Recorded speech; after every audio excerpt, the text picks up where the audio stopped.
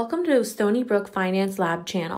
My name is Jonathan McGrath, and for our final project, I work with Jack Falzone, Darnell McCullough, Kevin Murphy, and Michael Bucci, and uh, we decided to choose Thimble.io um, as our company that we wanted to study. Um, they consider themselves the answer to STEM education for our children. Um, so what Thimble does, how their product works, um, they offer they offer various kits like the one show here. So if you look on the right, um, there's an option of what comes in a kit when you actually order it. These kits provide students with a basic understanding of STEM. Different kits and parts can be combined by students for endless outcomes, and they offer comprehensive learning at a student's own pace. So basically, what that means is that these kits are designed for all types of students, um, whether you're a beginner with STEM or you're considered to be closer to an expert.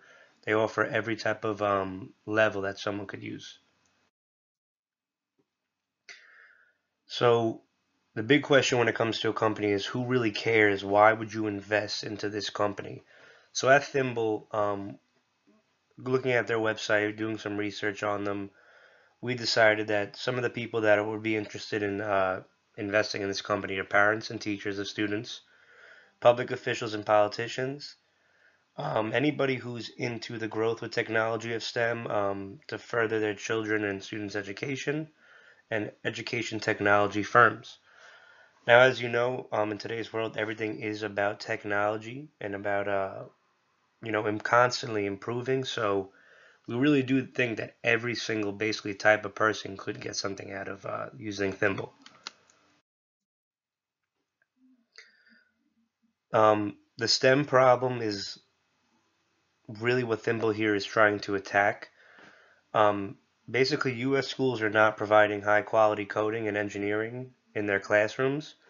Schools don't have the resources to teach the necessary skills for success in STEM fields, and teachers and parents don't have the time or expertise to address the student learning gap in STEM. Now, a lot of things, especially when I went to school, we did not learn any of these things. I'm just starting to learn coding now that I'm in my MBA here at college. I think a lot of my classmates could um, agree with me there. So these are things that society needs moving forward. So Thimble is trying to offer this to children so by the time they get older, they know how to use these things already. Um, basically, Thimble is trying to just make this an easier process instead of having to download all these servers and apps that you need coding like RStudio and all these other techno technological apps. Um, Thimble is trying to solve these problems more simpler. So for schools, there's an all-in-one solutions for launching or expanding STEM programs across all grade levels. Um, to, they, by doing this, they'll provide curriculum, lessons, classroom kits, staff training, 24-7 access to online lesson libraries, and illustrations and assessments. Um, a lot of these kits will include basic circuits and coding, LEDs and controllers, Wi-Fi robotics, weather stations, and more. Solutions are designed around either schools or parents, and teachers at home with parents and teachers have access to monthly subscription services. So the target market um, in Thimble is the e-learning market. Um, basically anybody that is willing to just learn where society is moving forward. So, for instance, the 1,600 school districts, 131,000 schools, and 57 million students. The e-learning industry is expected to grow 17% for the next three to four years. Only 45% of U.S. schools teach STEM. There is a STEM labor and talent shortage despite the immense need to grow in all areas of STEM. So if you think about it, you know, less than a majority of schools are actually teaching their kids STEM, and STEMs is the future. STEM is what all technology runs on. So that's pretty concerning.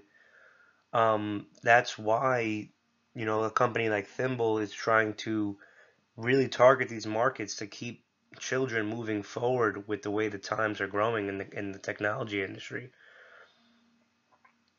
Um, Thimble does compete uh, compete with other kit companies. Um, kit companies lack live instruction, school curriculum, and are less in depth. Uh, the coding schools that exist teach basics through classes, but they lack the hands-on material that you would learn with Thimble. And school curriculum providers don't offer many STEM kits or mo modules, and they are usually very basic and outdated. So Thimble's competition really isn't that strong. That's why they're having so much success and growing so much. So the financial situation for Thimble, um, traction.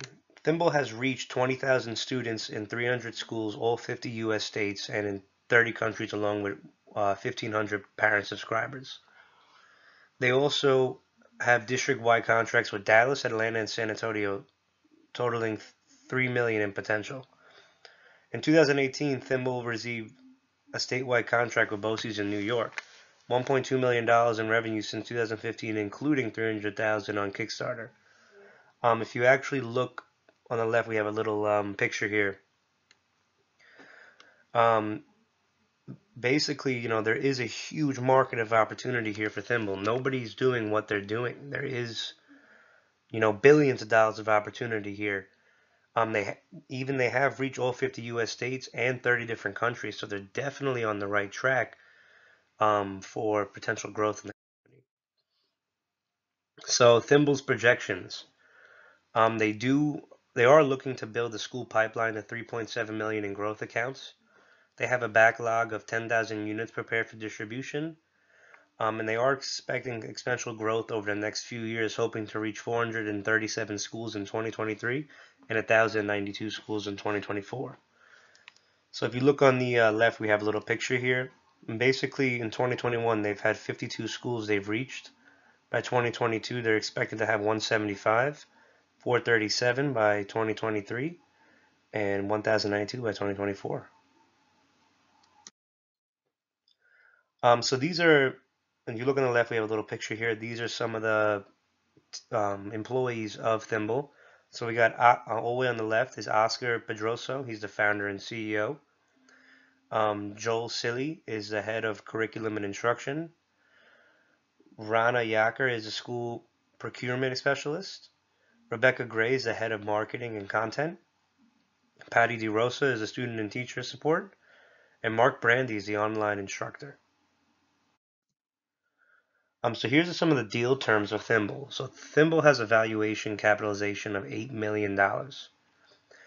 In the case of a specified event occurring, the discount rate is 20%. Thimble is scrutinized as a crowd-safe security minimum investment of $100. Thimble has a funding goal of $25,000 to $1 million with a deadline of February 27, 2022. So with Thimble here, I mean, we can see these are all realistic goals. Um, nothing here is, you know, out of reach. Uh, they basically their goal is to slowly build this company. They're not trying to do too much at once. So with these type of goals, they should be able to reach their projected goals. Um, so we do have a few questions for Thimble. Uh, one is how stable are the contracts obtained from schools and districts? What are their terms and durations? Are the margins that you have for your BTC projects, the 77% margins quoted, sustainable? Also, the higher pricing and margins could ostracize certain demographics and students slash families of lower incomes. Is this a concern for Thimble? What are your margins of school contracts?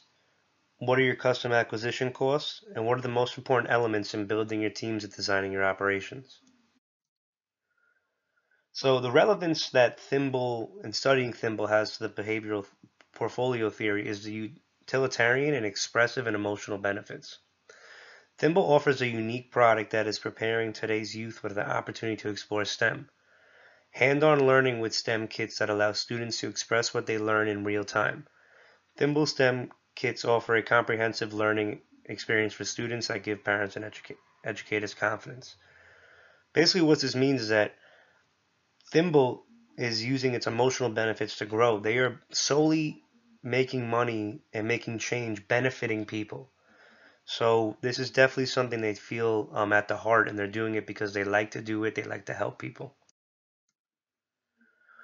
Um, so our summary and recommendation, is this a good investment? Uh, we personally believe investing in Thimble is a smart investment because it addresses a larger problem with STEM in the world of education today.